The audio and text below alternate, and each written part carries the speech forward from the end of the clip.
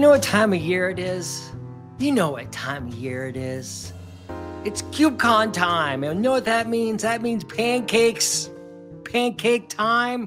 Pancake time, global, virtual, EU style. Man, I'm excited for our discussion today, talking all about IT, developer speed, open source. We're going to cover the range of topics with our guests. Coming on first is Itzik Reich, VP, VP Technologist, Dell Technologies. Itzik, it is great to have you here today. Hey, thanks for having me in. And I didn't brought the pancake since it's almost Passover, but here's my matzah ball.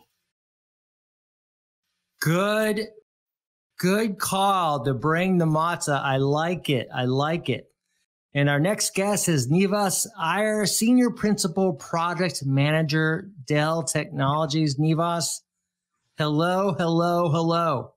Hello, Alex. It's great to be here. It's 7 a.m. here in California, and I got pancakes. I love it. I love it. Cheryl Hung, Vice President of Ecosystem at CNCF, a veteran of the pancake breakfast circuit. Hi, Cheryl. Hey, Alex. Hey, Alex. Fantastic to be back on again. And I likewise have bought my own sourdough, sourdough pancakes. So happy to be here. And as I understand, your husband got full on into the sourdough pan, pan sourdough bread world that we saw during this pandemic. He did. Um, I've been the lucky recipient of lots of sourdough baking over the last year. Um, so yeah, some of that has gone into today's pancakes. Nice. Well, I've got some pancakes too, but you know what? Um, I need some syrup, and I'm going to take a. Um, so Cheryl, do you have some syrup you could uh, provide me? Well, by a lucky coincidence, I just happen to have some pure maple syrup, which I'm handing to you right now, Alex. Oh, thank you very much. Wow. I'm going to put a little bit on my pancake, but then I'm going to save my pancake for later. But I'm just going to add a little bit, a little drizzle here. Mm, mm, mm. Okay, by the magic of the internet, I will also. The magic of the internet. I like it. We have a cloning factor here, teleporting, cloning.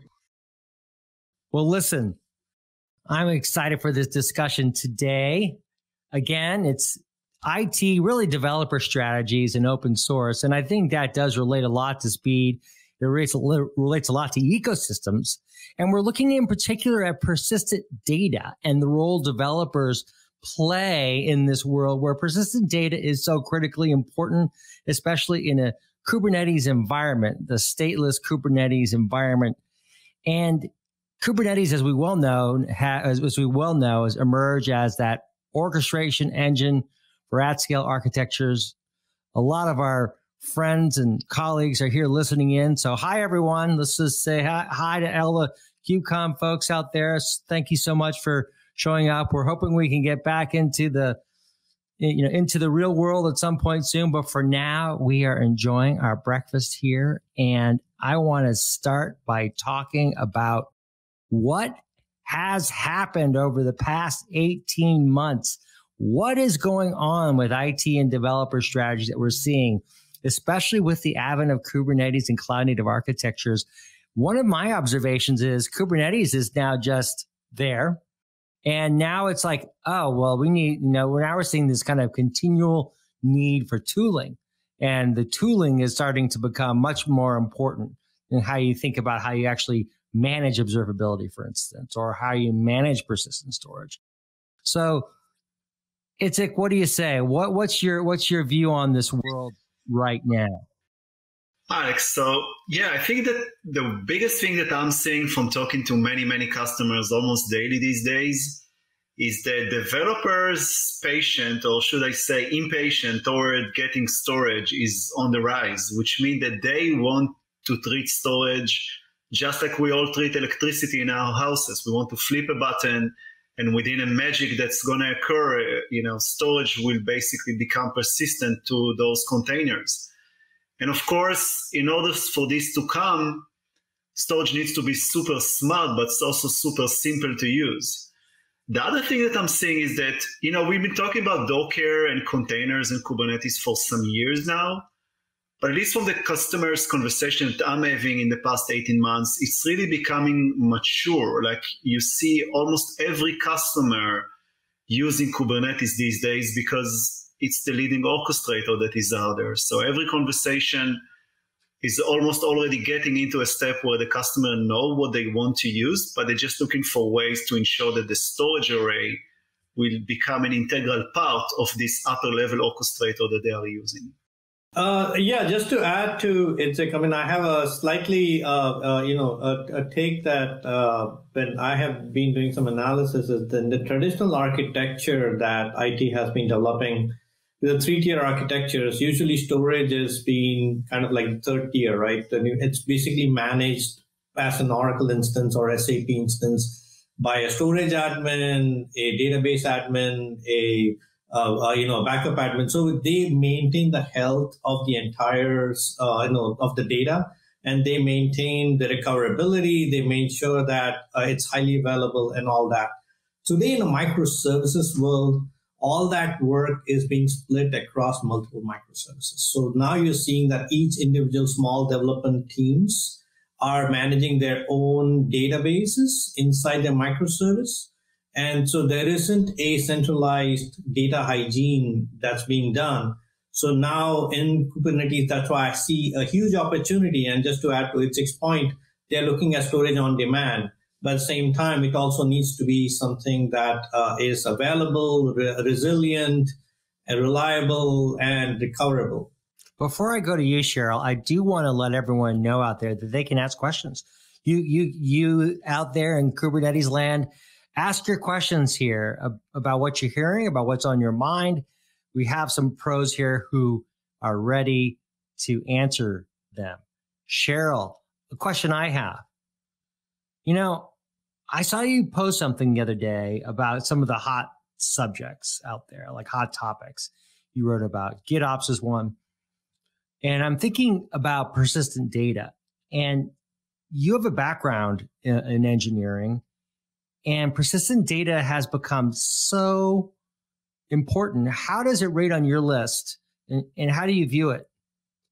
And, and, what projects do you see out there from from uh, in the CNCF that are interest? So, Alex, that list that um, you're referring to was the 10 predictions that I made for cloud native in 2021. And I agree actually with both Itzik and Nivas that deployments are getting bigger, they're getting more complex. People are expecting more out of their cloud native infrastructure. One of those challenges is persistent storage. Um, I started looking at storage in 2017, in fact, and I thought it would be a solved problem within about 18 months. Um, I was obviously optimistic in my my prediction back at that point, um, but I do see now that organizations are getting to the point where it's not scary or not as scary anymore to consider running databases and running some parts as persistent, using persistent volumes and persistent workloads. But one thing that I do see that is, I think, still not yet solved is as we move towards a multi-cloud world, how and what that means for storage because moving stateless applications across clouds is not that difficult. But moving data, moving the analytics, that is very, very difficult still. Nivas, you're shaking your head. I saw that. Uh, yeah, this is definitely, I mean, I see the point that Cheryl is making, especially when uh, we have, uh, you know, multi-cloud. I look at, uh, you know, applications being decomposed across each cloud is specializing its own uh, for example, uh, Google is uh, you know specialized a lot in machine learning uh, type uh, you know APIs. AWS has its own, and then so you have all these services across different clouds, but uh, but the data is not very easily can spin up a data cluster and migrate data very quickly.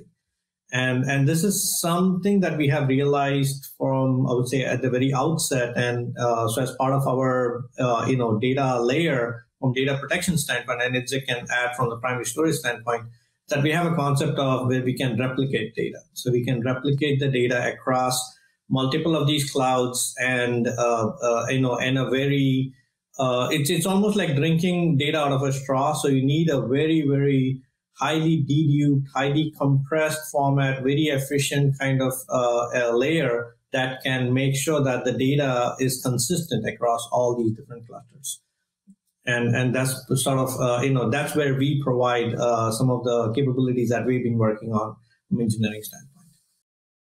What are some of those capabilities that you've been working on, and, and how do you think of this in terms of the roles that people play, in terms of the culture that uh, you need yep. to really have? Yeah, sure. Thanks, Alex, for the question. So really, my answer will be divided into two. I'm a big believer in the dual mirror mentality, which means that if I'm a developer, there is a very small chance to non-existent at all that I'm going to use the storage user interface to carve up a volume or to take a snapshot out of it. My portal to the Kubernetes world is one command, kubectl. So I want to consume all of those services via kubectl. And what are the services? So apart from just the basic ability to map a volume, Think about the other advanced functionality like snapshot, taking a snapshot of a volume and represent that data to your AI workload.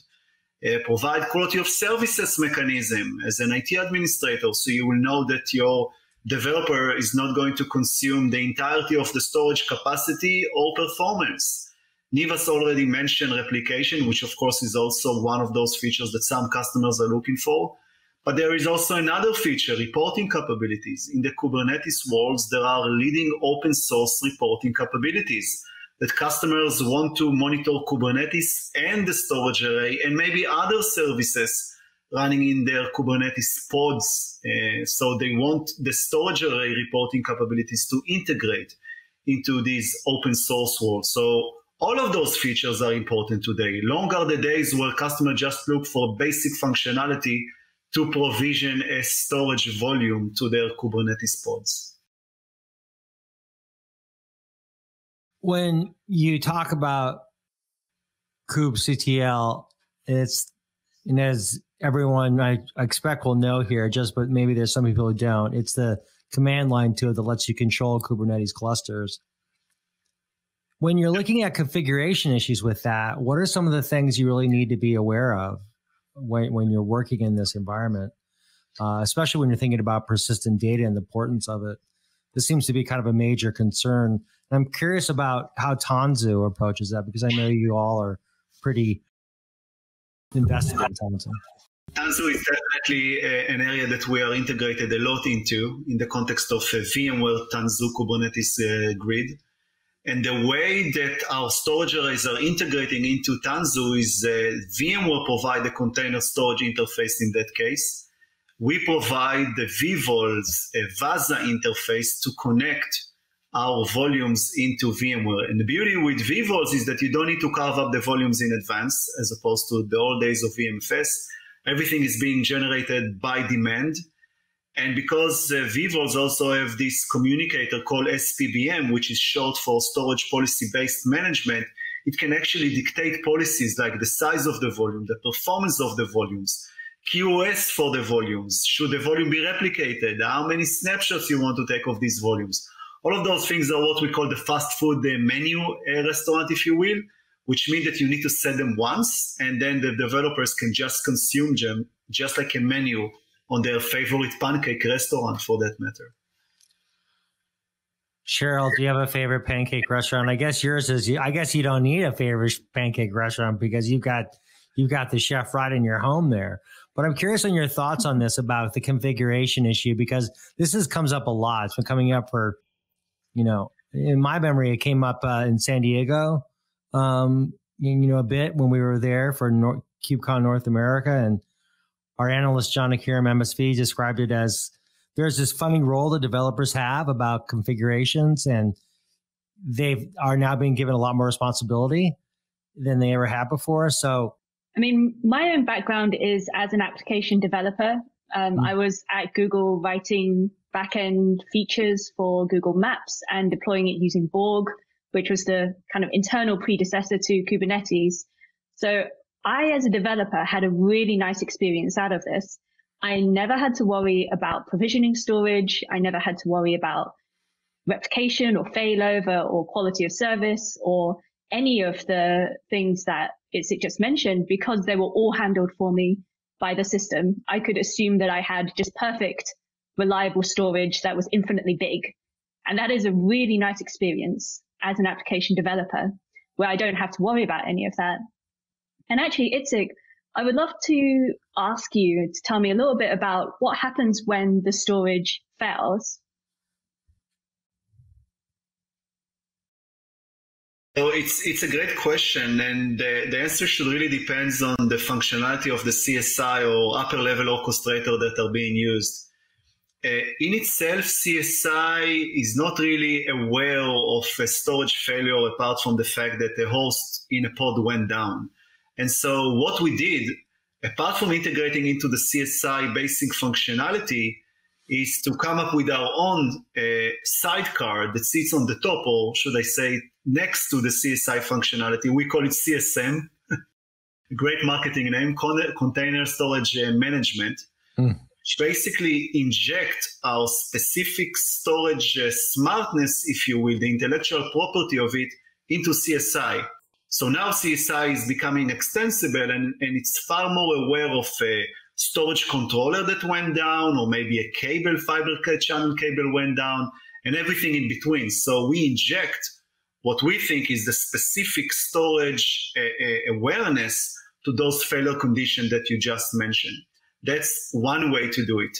Uh, of course, there are others. If you're using upper level orchestrators like Red Hat OpenShift, it has its own HA monitoring capabilities. VMware TKG has their own HA capabilities, monitoring capabilities. So what we try to do as a storage company in this particular case is to not reinvent the wheel into orchestrators that already have those insightfulness, but rather inject the new things that we think those upper level orchestrators are not familiar with. Yeah, um, I, would, I, would, just add one more thing, Alex, on the Tanzu, as you asked the, uh, the question earlier. So the way uh, the VMware's Tanzu works is that, I mean, VMware has created a Kubernetes as a service platform. So it's basically IaaS plus. So IaaS earlier was based on virtual machines, right? Basically, our VMs. And now the IaaS has gone up one level where it is based on containers, if you will. So con- containers on demand uh, through spin being able developers being able to spin the clusters on demand. So they have a concept of these guest clusters that developers can go in and they can spin up on demand, but IT still maintains control. So all the things that Itzik was mentioning. So that's all part of what we call services that we provide developers.